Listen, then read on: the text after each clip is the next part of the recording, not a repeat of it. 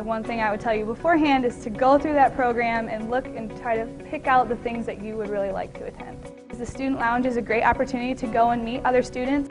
One thing that really surprised me about all the different ACSM celebrities is that everybody is so approachable. My main advice is to go to all the plenary sessions. Uh, these, like the Wolffe Lecture, the Dill Lecture, the presidential lectures, these kind of lectures are the top people in the world on these areas. So they tend to be wonderful speakers giving you incredible information, so don't miss those.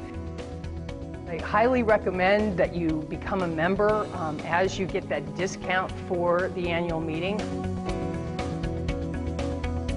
As an undergraduate student, you get exposed to the material, and yes, being able to like listen to the you know cutting edge presentations and being able to be exposed to all this new information that isn't quite put out in textbooks yet. I did the student colloquium when I was out in Denver, Colorado. Met with a bunch of peers my age. We all discussed our career paths. They broke us into groups. I got a great experience networking that way as well.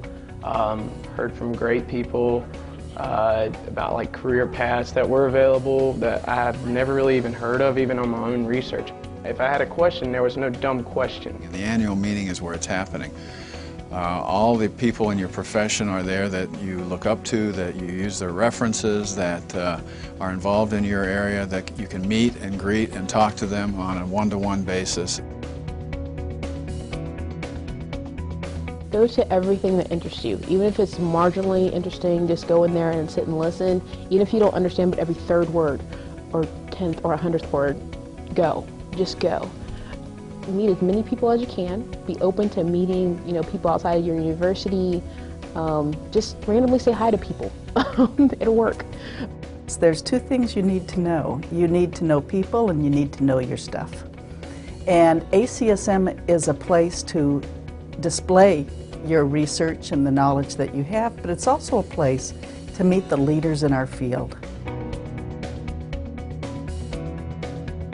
Last year was the first time that I attended any of the special interest group meetings and I find those to be extremely fulfilling and it's you know fostered a lot of networking opportunities and collaborations with other labs. Uh, it gives you an opportunity for more in-depth discussions on certain types of methods and techniques that you may want to employ in any of your future studies. I have attended the Student Bowl. I've tried to just be involved myself as a student. I've, I've gone to some sessions they've had for graduate students in terms of how to select a postdoctoral fellowship. Coming to the meeting for multiple years now, it is a great opportunity to just uh, reinforce those relationships and meet new people that potentially could be a collaborator or a future mentor for you.